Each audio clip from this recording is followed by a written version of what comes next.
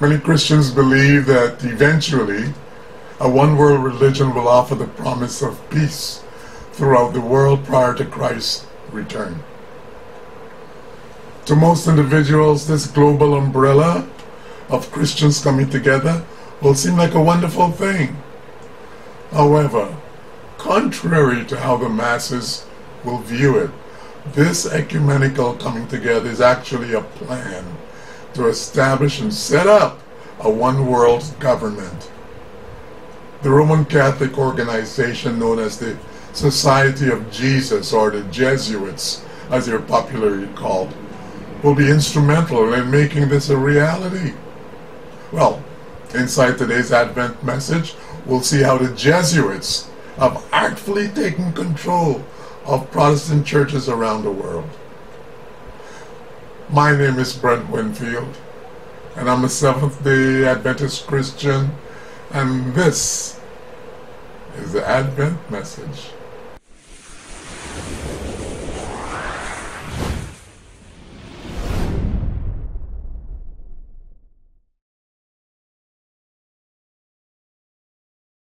This is the second of a two-part examination of the military arm of the Roman Catholic Church, Jesuits.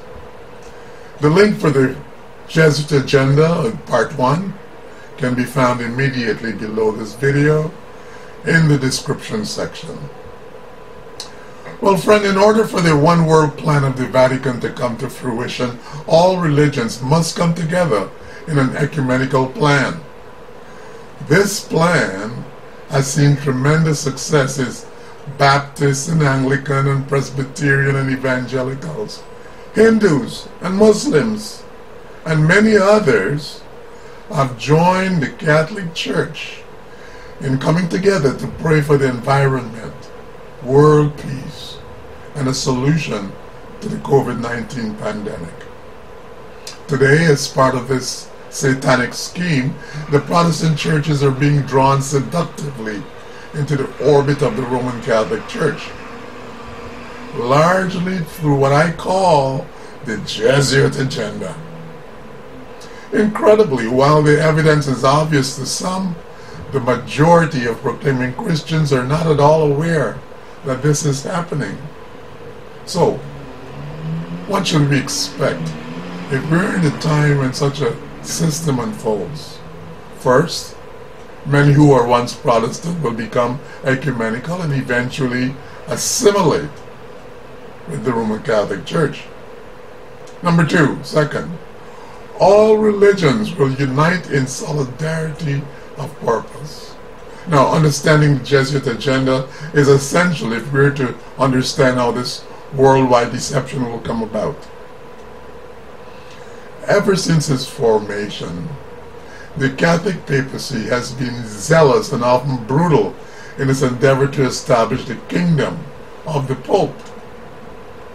This determination was witnessed during the time of the Inquisition, where countless millions of people died cruelly for resisting Rome. Foxe's Book of Martyrs described many of these atrocities. At that time, Many true believers in Christ during the Reformation period attempted to spread the truth that God's Word was truly God's Word. And it could not be changed and kept hostage by the papacy or anyone else. These sincere Christians were so determined to serve God in truth that it was not long before the Counter-Reformation was founded in order to bring these separated brethren back to the mother of all churches. This counter-reformation was largely headed by a person named Ignatius Loyola. Loyola was found who founded a Jesuit order in the mid-1500s and who launched an all-out attack against those who dared to stand against the papacy in Rome. Hmm? The Jesuits became known as the Pope's militia, or a secret army of the Roman Catholic Church, if you will.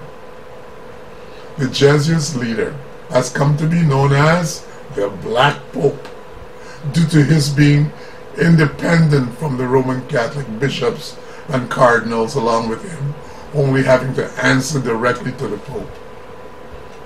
The Jesuit leader is even called a general and has the alleged authority to absolve persons of sins of bigamy, murder, or any harm done to others, as long as the matter is not publicly known and the cause of a scandal.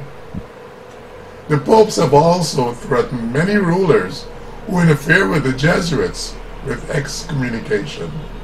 In short, friend, the Jesuits are zealous persecutors of Protestant Christians and anyone who is against the Vatican. These Jesuits take a solemn oath to destroy Protestantism and anyone who offers protection to Protestants. Now, here's an exact excerpt from the oath of a Jesuit. I'm going to quote. I furthermore promise and declare that I will, when opportunity presents itself, make and wage relentless war, secretly or openly, against all heretics, Protestants, and liberals as I am directed to do, to extirpate and exterminate them from the face of the whole earth. And I will spare neither age or sex or condition, and that I will hang, waste, boil, flay, strangle, and bury alive these infamous heretics, rip up the stomachs and wombs of their women, and crush their infants' heads against the walls in order to annihilate forever their execrable race. Now, when the same cannot be done openly, I will secretly use the poison cup, strangulating cord, steel of the poniard, or the leaden bullet, regardless of the honor, rank, dignity, or authority of the person or persons, whatever may be their condition in life, either public or private as I, at any time, may be directed so to do by any agent of the Pope or superior of the brother, Brotherhood of the Holy Faith of the Society of Jesus. End quote. So, Saint, you can now see if the Jesuits were commissioned by the Pope, whatever they took to end the Protestant Reformation, while most Christians think that the Counter Reformation is a thing of the past, because we're not seeing inquisitions today, this movement continues and with renewed effort throughout various avenues of the Protestant, Protestant church. And it is more insidious today than the Inquisitions because now it has infiltrated Christianity and is being disguised as a new Christianity. But disguised or not, it is a Jesuit agenda, and it is bringing ecumenism and a one, one world religion. And at the same time, it is attempting to destroy the message that so many died for, which is the message that Jesus Christ is not found in a wafer and a sip of fermented wine, and to be re-crucified day after day. But Christ has died once and for the sins of man and offers salvation that is an entirely free gift, unearned to those who believe in him. Amen. Well, as I mentioned before, the Jesuits was first formed in the year 1834 by Ignatius Loyola. And after a serious injury in the military and during a lengthy rehabilitation, Loyola turned his focus from military enthusiasm to spiritual fanaticism. Loyola assumed the name and office of Knight of the Virgin Mary, seeing himself as Mary's favorite. Loyola wanted to start a new order, Society of Jesus, or the Jesuits. And so he presented the idea to the Pope. He told the Pope that the idea had been inspired by heavenly revelations. Now, at first the Pope hesitated, but when Loyola added a fourth vow in addition to the regular vows of poverty and chastity and obedience. Um, well, he, he would promise to do whatever the Pope wanted and go wherever the Pope wanted him to go. The Pope agreed and sent the new order out to invade the world. While monks of other religious orders sought to separate themselves from the world, the Jesuit went out into the world and obeyed whatever command the Pope gave. Often this was to win the world with the sword. No violent act was withheld if the order came from the Jesuit general. Well, after a while, the Jesuits entered the education system, especially that of the Protestants. The Jesuit maxim, maxim was, give us the education of the children this day, and the next generation will be ours. One Jesuit even boasted that the Jesuits were successfully able to imitate preachers, Protestant preachers. They used trickery and deception to become all things to all men. However, by 1773, the order was abolished because of their horrible reputation for bloodiness and deception and immorality. But they were fully reinstated in 1844 by Pope Pius. Even by this time, the influence and infiltration into the United States by the Jesuits was significant. So, question What is the Jesuit agenda today? Well, I'm not saying that Jesuits today are murdering Protestants if they don't convert to Catholicism. What I am saying is that the determination and efforts to convert Protestants back to the Mother Church still exist. Basically, while the methods may have changed, the plan and objectives have not changed. Here's a good question. If the methods of converting lost and prodigal souls back to Rome have changed, what is the method to accomplish these goals today? Hmm? Well, their answer is it is largely through what is called Jesuit spirituality. See, at their very roots, Jesuits are proponents of mystical prayer practices. The founder of the Jesuit, Loyola, created spiritual exercises that incorporated mysticism.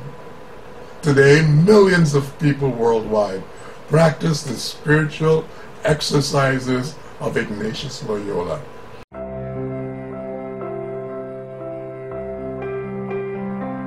The examen is a simple but powerful technique of prayerful reflection. Experience alone does not teach us much. It is when we reflect on our experience that we really begin to learn. The examen is a practice developed by St. Ignatius of Loyola around 500 years ago. It can help us see God's hand at work in our daily lived experience. It is a simple prayer that has the capacity to transform our lives by helping us become more aware it is best prayed daily. Step 1. Become aware of God's presence. Find a place where you can spend some uninterrupted time.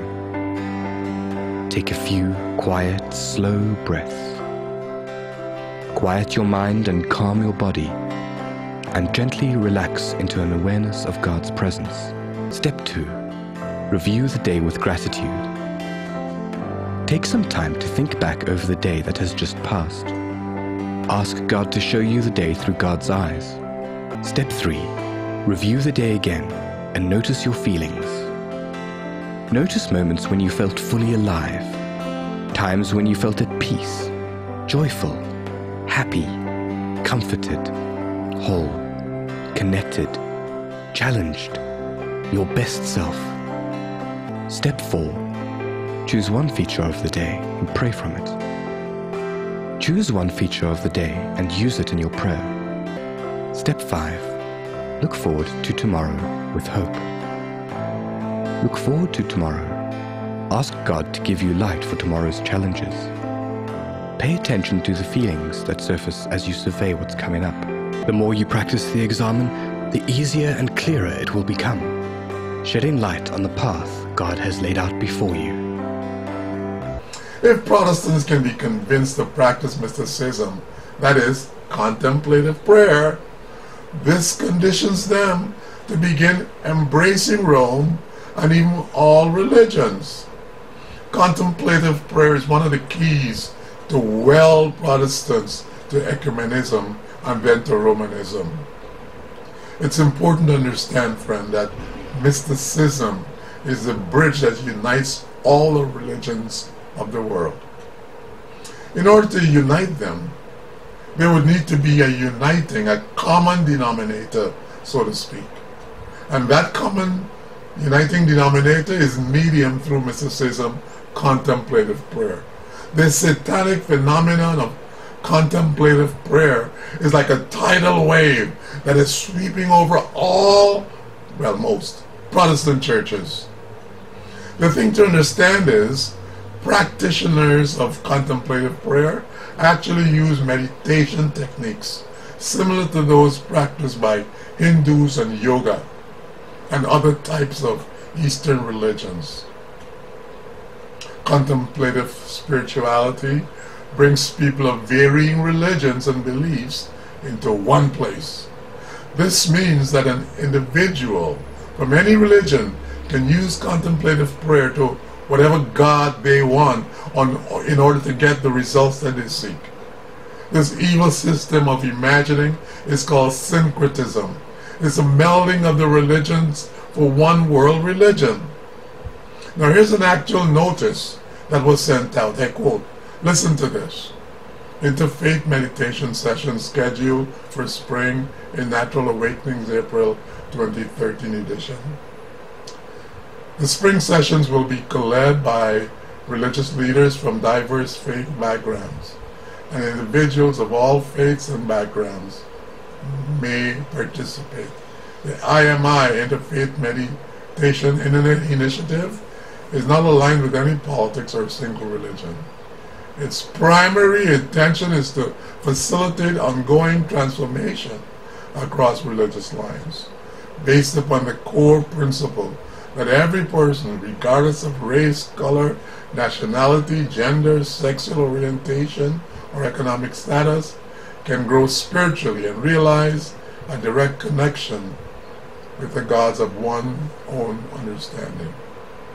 Sessions, sessions were to be held in churches, synagogues, mosques, temples, universities, and community centers. End quote. Saints of God, I want you to take a serious look around you and see who's currently promoting the mysticism of contemplative prayer. Incidentally, when I say all the religions of the world are uniting, I include the New Age movement, perhaps one of the largest religions in the world today.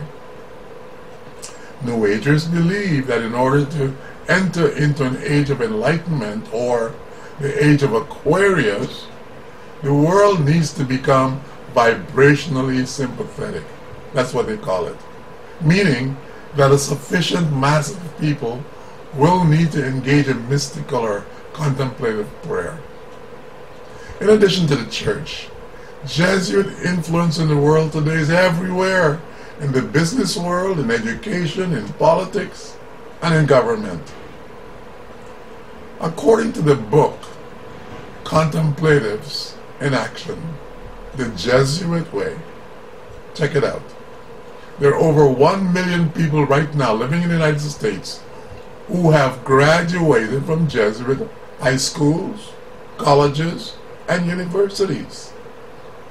Perhaps the best way to understand the Jesuit agenda that undermines biblical Christianity is to recognize the move towards a so-called social gospel that unites the religion of the world for the cause of peace.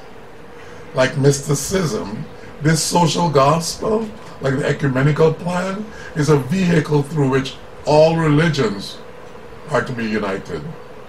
Now, who would have believed this could happen to the Protestant church hmm? in our time? But we have already been warned in Scripture that Satan's ministers are transformed as the ministers of righteousness. See 2 Corinthians 11.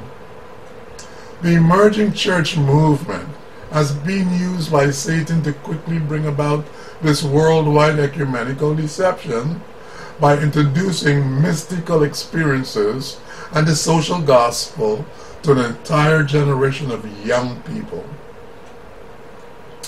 What the Word of God says, listen, I quote, Let no man deceive you with vain words. For because of these things cometh the wrath of God upon the children of disobedience. Be not ye therefore partakers with them. For you were sometimes darkness, but now are you light in the Lord. Walk as the children of light. For the fruit of the Spirit is in all goodness and righteousness and truth, proving what is acceptable unto the Lord. And having no fellowship with the unfruitful works of darkness, but rather reprove them.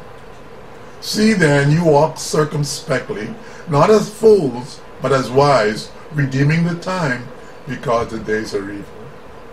Wherefore be ye not unwise, but understanding what the will of the Lord is. Ephesians 5 6 11.